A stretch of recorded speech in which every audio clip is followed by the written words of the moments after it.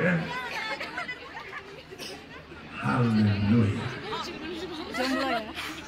Kau jalan cepat, kau masih muda jalan seperti pengantin sunat.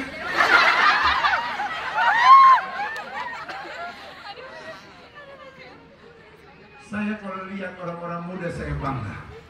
Karena saya lihat orang-orang muda berarti saya lihat masa depan si Malungun. Amin. Masa depan si Malungun bukan tergantung jenderal TNI atau apa pun tergantung kalian. Di Amin. pundak kalian ada masa depan si Malungun. Dan kalau saya lihat orang-orang muda, saya lihat masa depan gereja. Amin. Kalau kalian hidup kacau, gereja si Malungun kacau. Amin. Tapi kalau kau hebat, gereja punya masa depan yang cemerlang. Adik-adik muda, kalian adalah masa depan gereja. Kalian adalah masa depan orang tua kalian. Dan kalian adalah masa depan si Malungun. Sama-sama bilang di pundak saya ada hari depan.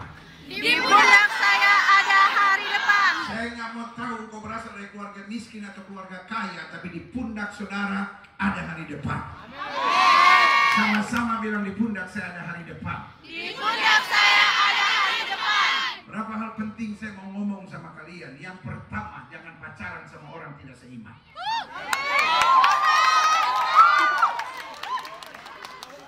Kalian anak Tuhan Yesus jangan jual diri murah.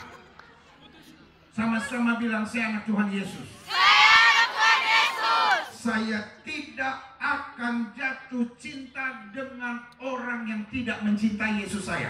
Saya tidak akan jatuh cinta dengan orang yang tidak mencintai Tuhan Yesus saya. Awas, kalian sedang berdiri di altar, pastikan kalian tepati janji kalian di hadapan Tuhan. Amin. Lalu kalian tanya sama saya, pendeta, bagaimana saya sudah pacaran sama orang dan sekarang saya sedang pacaran sama orang yang tidak seiman. Pulang dari sini, kau ketik WA, bilang sama dia, putus. Sampai sampai di sini kisah kita, jangan kau tangisi keadaan karena kita sudah berbeda. Nanti kalau dia bilang, lu kenapa tiba-tiba begini? Gilbert yang suruh, sudah selesai. Dia mau marah, dia mau kutuki saya, biarin saudara. Tapi saya harus ngomong kebenarannya. Kalian jangan jual diri murah. Amin? Jangan pacaran sama orang yang tidak seiman. Mau dia ganteng kayak, mau dia cantik kayak. Aku tidak akan jatuh cinta dengan orang yang tidak mencintai Yesus saya. Amin.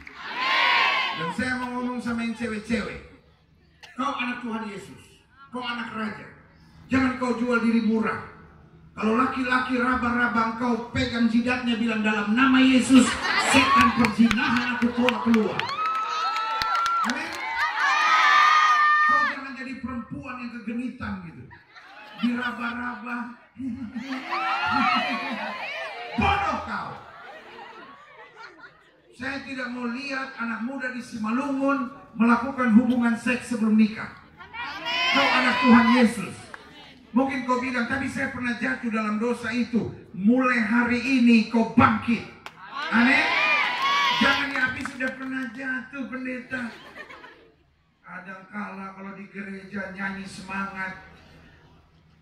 Kenapa kini hatiku nampak membimbang. Nyanyi hebat. Tapi kalau pacaran, astaga. Dia jamah segenap hidupku. Jangan kau jadi perempuan murahan. Amin. Kalau per- kalau laki-laki sudah pegang-pegang raba-raba engkau, itu dia bukan dari Tuhan, dia dari setan buat engkau. Mana mungkin dari Tuhan? Loh, mana mungkin dari Tuhan kalau ajak engkau berzina? Setuju? Kalau Cak Lem, Cak Lontong bilang mikir. Jelas? Dan kau yang laki-laki jangan kegatalan. Laki-laki di Simalungun, anak Tuhan Yesus, nggak ada yang gatal. Setiap kali kau duduk berdampingan dengan perempuan, kau ingat mamamu. Kau harus menghormati perempuan itu. Karena mamamu bukan laki-laki, tapi perempuan. Kau lihat dia seperti adik perempuanmu. Masakan kau raba-raba. Apa yang kamu tidak ingin orang lain perbuat kepadamu, jangan perbuat itu kepada orang lain. Yang cowok-cowok dengar. Kau juga nggak mau kan adik perempuanmu diraba-raba sembarangan?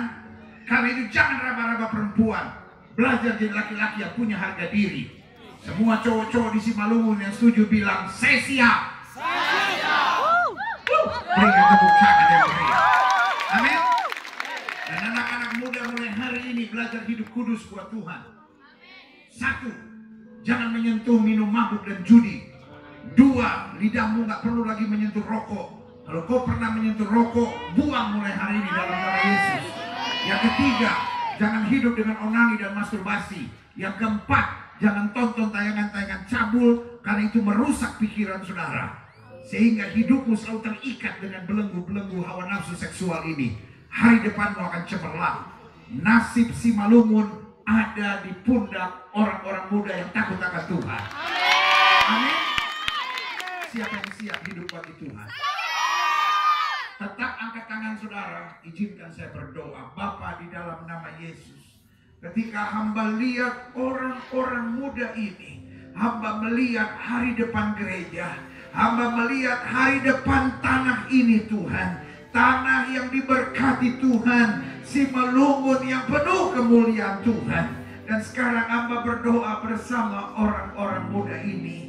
Tuhan tolong mereka lidah mereka tidak akan menyentuh rokok. Hidup mereka tidak akan lagi hidup dengan judi dan alkohol. Hidup mereka tidak akan lagi terikat dengan tayangan-tayangan cabul. Tidak akan lagi onani dan masturbasi. Mereka berjanji tidak akan pacaran dengan orang yang tidak seiman. Mereka berjanji untuk tidak lakukan hubungan seks sebelum nikah. Tidak akan pacaran raba sana raba sini. Mereka mau hidup benar di hadapan Tuhan. Mereka percaya hari depan mereka dahsyat dan luar biasa. Karena kami tahu dosa menghancurkan hidup. Dosa merusak hari depan. Tapi kebenaran mengangkat derajat kami. Karena itu Bapak hamba berdoa sehingga orang-orang muda ini diurapi oleh Tuhan. Roh Kudus ingatkan mereka supaya mereka tetap hidup di dalam kuasa kebenaranmu. Setiap orang-orang muda yang di depan angkat tangannya, ulangi doa saya katakan Tuhan Yesus, Tuhan Yesus, aku masih muda.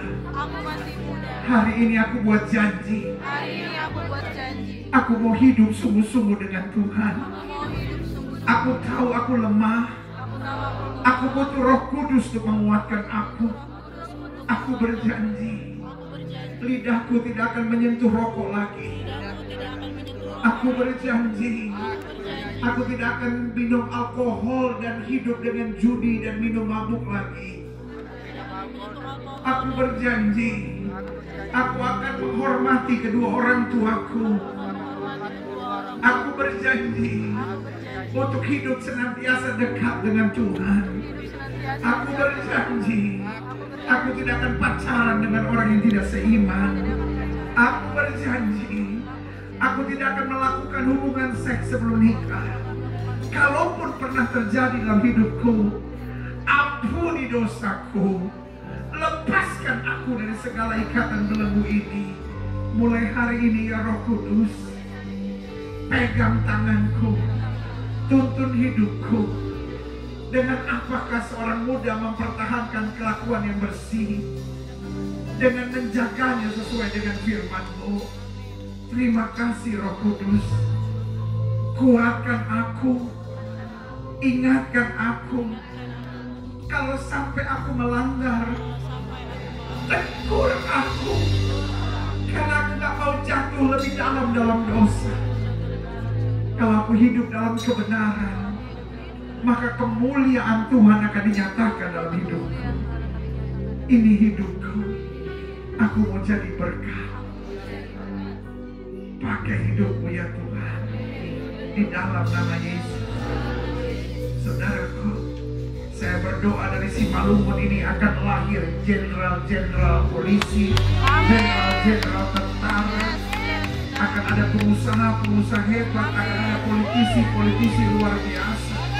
Karena saya tahu persis, kalau dari masa mudamu kau hidup benar di hadapan Tuhan, engkau akan kagum melihat apa yang Tuhan kerjakan dalam hidupmu. Amin. Sama-sama kita naikkan doa ini. Aku percaya Aku percaya hari depanku akan dahsyat. hari depan Apa yang tidak pernah kupikirkan, Tuhan Yesus sediakan bagiku. Sama-sama kita katakan, Amin. Beri tepuk tangan yang meriah. Adik-adik muda yang hebat, doa saya menyertakan, menyertai kalian. Apa pun yang menjadi cita-cita kalian, nggak semua harus jadi pendeta. Tapi kalau panggilan sudah jadi pendeta, jadi hamba Tuhan yang hebat. Tadi sebagian sudah mungkin ada yang jadi olahragawan, ada yang jadi artis kah, ada yang jadi uh, pelukis kah, ada yang insinyur kah, ada yang jadi politisi kah. Tapi dalam takut akan Tuhan kau akan melihat hal-hal dahsyat terjadi dalam hidup. Amin. Sekarang semua menghadap jemaat sekalian. Bapak Ibu, saudara sekalian, malam ini kita akan dengarkan kesaksian pujian dari anak-anak muda di Simalungun dari berbagai gereja. Dari berbagai denominasi gereja anak muda yang sudah buat komitmen untuk hidup suci buat Tuhan. Kita orang tua berikan semangat, kita berikan tepuk yang meriah. Saudara yang mau menyalahkan video saudara boleh nyalakan. Mereka akan naikkan pujian buat Tuhan. Hidup ini adalah kesempatan. Semua nyanyi sama-sama, nyanyi yang terbaik. Dan orang-orang tua yang ada yang mau nyalakan video sehingga dapat merekam mereka karena ini adalah paduan suara terbaik di Simalungun dari orang-orang muda yang